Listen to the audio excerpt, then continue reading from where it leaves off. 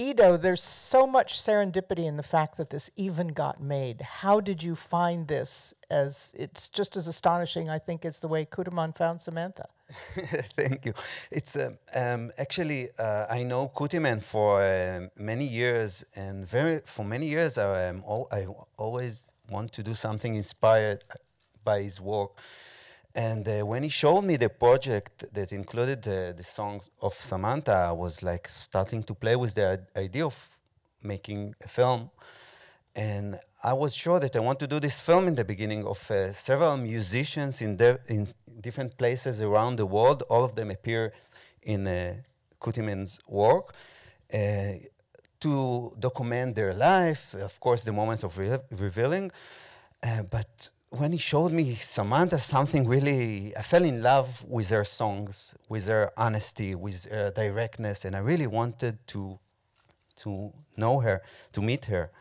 And then I went to US um, and we got in touch uh, with Samantha, and very fast we felt very comfortable with each other, and I felt that, you know, and the same evening we met, we went to this open mic uh, evening something like you saw in the film in New Orleans, and I totally fell in love with New Orleans and this music music scene and with Samantha, and, and I had a strong feeling that this is what I want to do.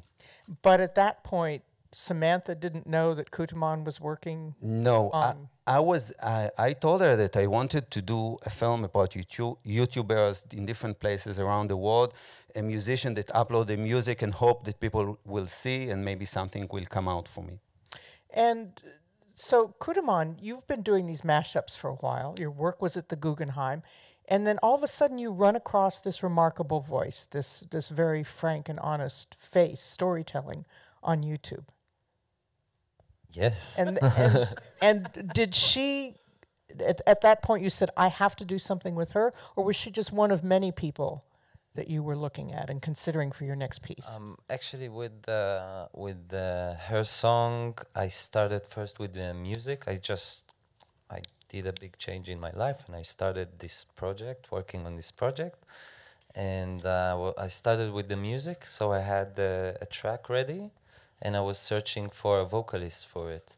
And the track has a certain BPM and a certain scale, so it couldn't be any any vocalist and then I searched for a few days and then I found her and I was uh, really amazed and it actually made me want to start um, want to do the whole album. And and Samantha for you you had been putting these videos on YouTube and finally you saw that people were listening in a big way. Oh yeah. and what did that feel like? It was, I was at a point in my life where I was like down and just out of it, going, running on autopilot. So for that to happen at that moment, it was great. It was beautiful it was like I kept getting all these wonderful comments, and for people to hear my voice, this song that I had for so long up there, it was amazing. I just felt like a surreal moment. But like I said, I didn't think beyond it. I just was like, this is dope, fresh sauce. And then after that, it was like, okay. So I didn't think like, what next? I just was like, this is. I always think like there's a beginning and an end, and it's like, okay, the song was out, it did good, okay, they hear my voice, and it's over. I didn't think beyond that. And Kutiman, you were looking for a voice, but you found a whole person out there. So, how did you feel about that? Did you feel I'm watching something really intimate, and should I be hearing this about this person when I'm looking for her voice, but seeing so much more of her? Um, I don't know. I just, I just kind of virtually fell in love with her. You know, in a, like, yeah, for real. like, uh, there there was something I don't know. There was something so real and honest about her, and I watched so many. You know, I spent so much time watching a lot of people singing and and a lot of them a lot of the times are trying you know hi i'm this and i'm that and i'm uh, try to look cool imitating other people yeah and trying you know trying to be someone someone else and something about her honesty really caught me and i really fell in love with that and Ido, how hard was this just mechanically and from an editing point of view?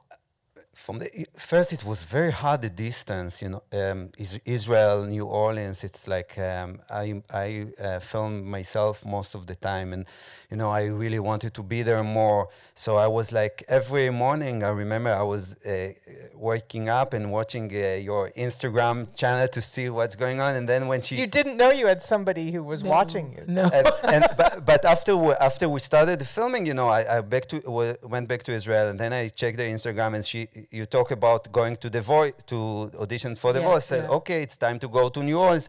It was like a year of going back back and forth, and um, it was uh, a real chal- challenge. But in terms of editing, I must say that this in in this film, it's really uh, was totally different experience from other things that I did. I felt that their karma were, went to this film, and I was like going to New Orleans, put you know the material on the timeline, just need to clean it up a little, and the scenes were there, and slowly, slowly, it became a film. Samantha, what did he tell you? Why, why he was showing up and why he wanted to film you? Well, his wife um, hit me on hit me y'all. Y'all know what that means. Y'all know what that means, right? Hit me on Facebook, huh? Okay. he hit me on Facebook and said that um, he wanted to do a documentary about YouTubers. And I was like, okay, why not? You only get one chance in life. Why not try this? I never tried it before. And so he came down, like he said. I met him in his hotel lobby. Rest in peace to Prince. That's a song of his. You know that song? Okay, it's D- Nikki. But anyway, so I met him in this hotel lobby. We um we um we talked. I felt instantly like calm with him. Like I can be at that moment. I felt like um it was time to tell my story. Like at that moment with him, he was the one. So we went to open mic night, and from there he just kept coming back. But in his initial visit, it was his, his mission was a documentary about YouTubers. But it just slowly narrowed down to me and Kutiman. Did after a while did you forget the camera was there? Yeah, because it was just one camera one guy. And he wasn't like, well, when he did close ups, he was very close. But when he did like just regular filming, he was like way like a fly on the wall. He just wanted to keep out of my space, and he did. And so after a while, I become, I forgot he was there. Like I just would go around my, my, my normal day and didn't notice him until like he scared me when I look over. And I'm like, like oh, he's still there. So yeah. And Ido, f- for, to get backing and financing and distribution for this, how hard was this? Was it something that you said, I can't describe it to you, I have to show you? It's something. First, uh, the fact that I uh, filmed by myself and editing, it, it gave me a lot of, uh, you know, um, I, um, how should I say, freedom in, in the at least in the beginning to check and try things, and and that's what I did. And after. Um, the first uh, visit in uh, in uh, New Orleans that I, I came back with such a strong feeling and I edited something and then I, I came with the, my enthusiasm to like the Israeli tele TV channel and the foundation and they really went to go wanted to go with me with on this journey and it started to it was easier than other projects. I think they also fell in love with them. And uh, how different is this from other work that you have done? I so used to suffer when I do films, you know, in, in my documentaries, and most of them are very depressing and like you know about Israel. One of them was very political, and it was it's in this this was totally different experience. There was something so you know I really enjoyed you know also the visits and also the editing. I was editing and the song started. I knew that I need to do a cut, but I conti- I you know till the end the song is ending. I was just listening. It was really something that usually when film is finished, it's kind of relief and like people I I and people are very happy. I'm kind. I'm a little sad at its end. This j- journey of this filmmaking because I really, I really loved it. That's a very rare compliment. Uh, But it's not ending. We're still, you know. A- And I, I can also say that something that I really felt in this film, and I believe, you know, that that um, music and creating there is power of healing, and and it's for me it came in time in my life that it's really. How should I say it's, it was big thing for me. Well, Samantha, in your YouTube videos, you were so honest about everything, including being molested as a child, because you weren't thinking this was going to go viral, to, to use the word, that, that millions of people would not only hear your voice, but see these stories. Did that make you feel differently about doing the videos after the fact? No. Like I, you know, when I when I it's just me at that pom- moment. It's just me and my phone. You don't think beyond the phone. You just think this is going here. You push publish, and I left it alone. But after, like a little bit after, when the documentary was like, I'm like this. Oh God, oh God. Then I just like, oh well, it is what it is. Like I, you know, it was like a moment of, oh my God. Like I like sat up in bed and was like, oh my God. But after that, it was like, hey, this is life and people go through this every day. It's not just me. So I want people to know that it's reality and everybody's not like a millionaire and people suffer and people struggle and people right now there's somebody being abused right now. So like there is abuse and I want people to realize that. And what did you think when you saw his footage of her listening to your mashup? Uh, that was that was really um, amazing and touching for me. Now you know now when I watch the film, I just kind of don't feel anything anymore because I watched it so many times.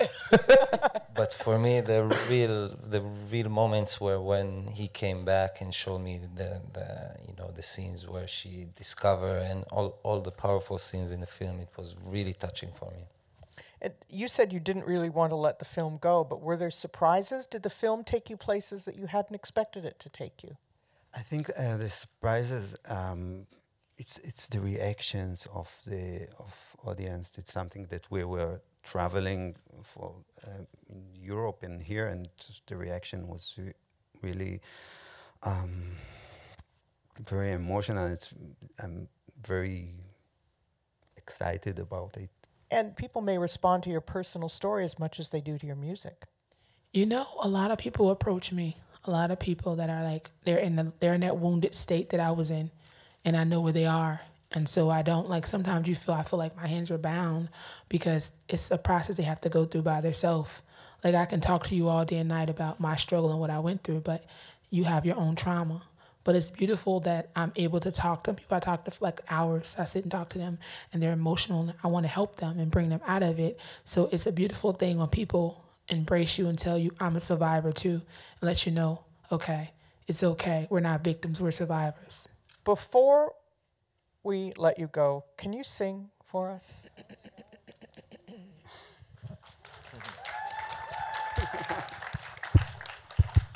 Sitting on the windowsill, staring at the rain outside, asking you why you don't love me at all, babe.